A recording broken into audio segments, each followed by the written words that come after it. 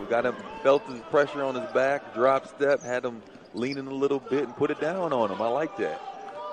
It's a good matchup today. Something we're going to be keeping our eyes on. Oduro versus Washington on either end of the floor. Both very athletic big men. Sherfield, left wing three. That's good. And the Wolfpack. Offensive rebound for George Mason. It's their first offensive board of the day, but the air ball gets the ball in the hands of the Wolfpack again, up by four. Sherfield, I think he kind of thought of There, he went to kind of peek in there and, and take a swipe at the post, but then kind of closed out to the wrong spot, and Cambridge missed a, a flat-footed jump shot. Fourth. Fourth turnover of the day there for George Mason as Blackshear gets back to work. George Mason playing man-to-man defense. Sherfield driving in strong on Schwartz and a nice finish. threat because when you stop one or find a way to stop one, it just seems like there's another leak that's coming from a different crack, and somebody else is having their turn. So um, it's a tough prep for, for other opposing teams. Finish, he can shoot.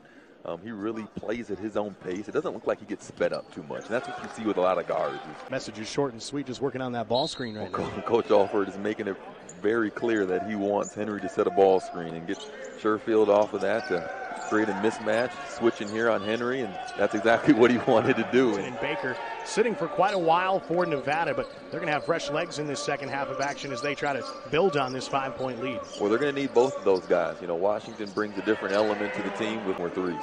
And, you know, once again, we talk about versatility. We talk about, you know, George Mason being able to do different things, but, you know, he needs to attack that offensive uh, glass, but then also getting to the rim, putting his head down and, and getting some uh, high percentage shots at the rim.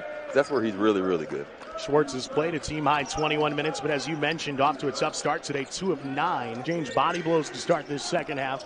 Starting This team, once again, is going to ride or die with him. You know, he's the kind of the, the, the straw that stirs his on the sideline, his team had a momentary two-point lead back in the early stages of this game. Got it close. life a little bit more difficult. Um, they're just always all over the place. There's always active hands. You can see them at each possession. Hands are up. Hands are outside of their bodies. They're just always active, and that's tough from an offensive perspective. Sherfield stepping inside the arc along 22, so they've come out and hit four big threes here in this second half.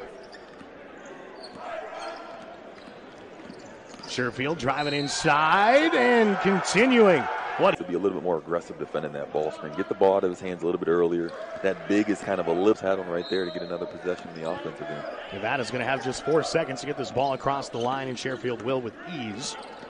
Now he tries to work his way inside. Hartwell guarding him closely, and there's just no answer today. Give him tw- nine team fouls for the Wolfpack, 10 now for the Patriots here in the second half as Sherfield gets down.